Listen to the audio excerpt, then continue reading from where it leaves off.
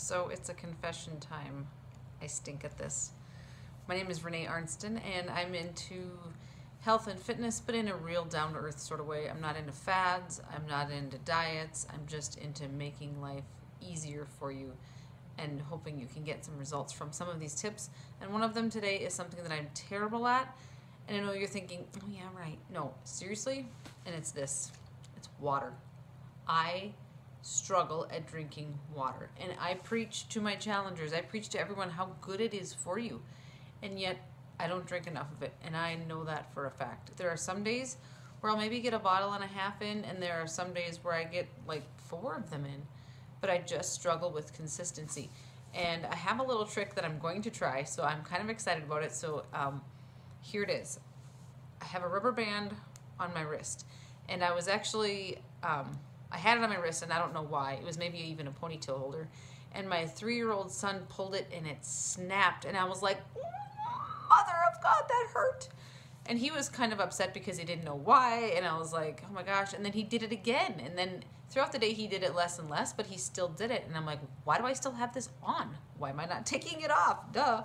And so I thought, you know, I've seen the rubber band thing on the water bottle but I think I'm going to give this a try. So I'm going to leave a rubber band on my wrist as a reminder. So when I see it, I'm going to take a drink of water.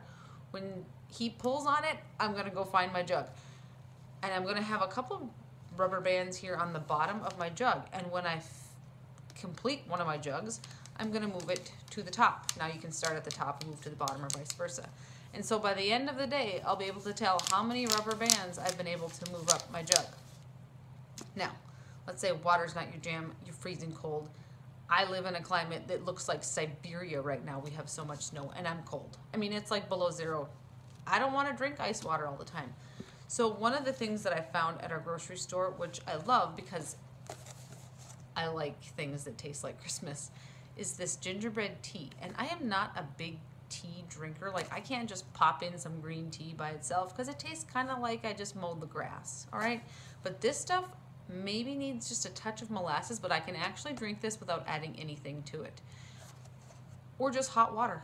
Hot water with a little lemon in it. I've done that too, just to kind of hold the cup and pretend I'm sipping something good. But you guys, water is so key for keeping our skin hydrated. Like my fingers are so cracked up and dry because it's so cold, but I know that the more water I drink, the better it is for me.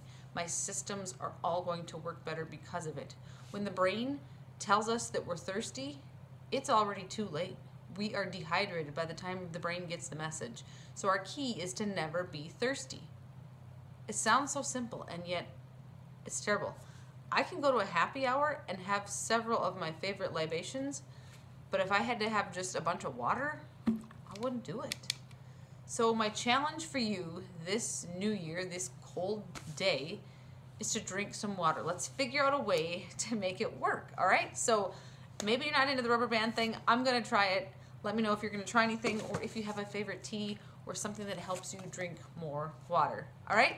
So catch me at Fit and Faithful with Renae and cheers to the rubber bands, right?